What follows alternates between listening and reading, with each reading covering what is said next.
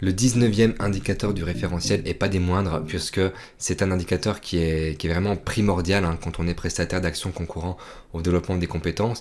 C'est un indicateur d'appréciation commun qui va concerner tout le monde, les formateurs, les accompagnements en bilan de compétences ou en VAE ou euh, les euh, formations par apprentissage. Dans cet indicateur 19, on va parler de ressources pédagogiques. On va vraiment parler euh, des contenus, de formations, de prestations qui vont permettre aux, euh, apprenants de, se les approprier. La définition de cet indicateur, c'est tout simplement que le prestataire doit mettre à disposition du bénéficiaire des ressources pédagogiques, ça c'est le premier point, et permettre à celui-ci de se les approprier. Voilà. Donc dans un premier temps, je démontre que les ressources pédagogiques existent, qu'elles sont disponibles, et que je démontre ensuite que des dispositions sont mises en place afin de permettre aux bénéficiaires de se les approprier. On le verra après dans euh, la grille d'audit Apollo, mais en tout cas ça se matérialisera bien par plusieurs points de conformité.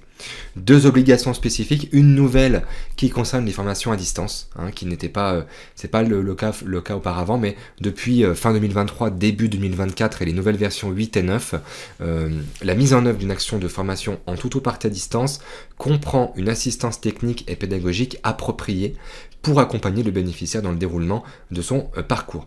En fait, ça, c'est rien de nouveau, hein. c'est déjà des choses qui étaient, euh, qui étaient renseignées dans le Code du travail depuis très longtemps, mais ce sont maintenant désormais des choses que l'auditeur Calliope va aller vérifier dans le cadre euh, de son évaluation de l'indicateur numéro 19, si, bien sûr, vous réalisez tout ou partie de votre formation à distance. Par rapport aux non-conformités, une NC mineure est caractérisée bien sûr par un défaut ponctuel et non répétitif.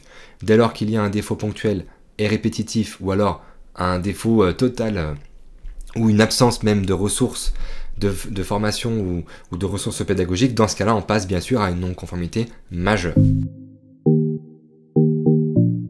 Hum, ça se matérialise en fait pour toutes les, les catégories d'action de la même façon. On vérifie si les ressources, elles existent. On vérifie également si les ressources pédagogiques sont cohérentes avec les objectifs de, la prestation, ça c'est très important. On vérifie aussi si les ressources sont disponibles, sont mises à disposition euh, du bénéficiaire pour que celui-ci puisse se les approprier. Et puis enfin, bien sûr, si vous réalisez de la formation à distance, dans ce cas-là, on vérifie l'article 6313.3.1 du Code du travail avec euh, la notion d'assistance technique et pédagogique appropriée pour accompagner le bénéficiaire. Donc tout un programme, c'est quand même assez complet, c'est très important de bien comprendre les exigences de cet indicateur 19. Voilà, merci à vous et euh, n'hésitez pas à aller consulter les autres vidéos et à vous abonner pour avoir euh, l'ensemble de nos nouveautés. Merci.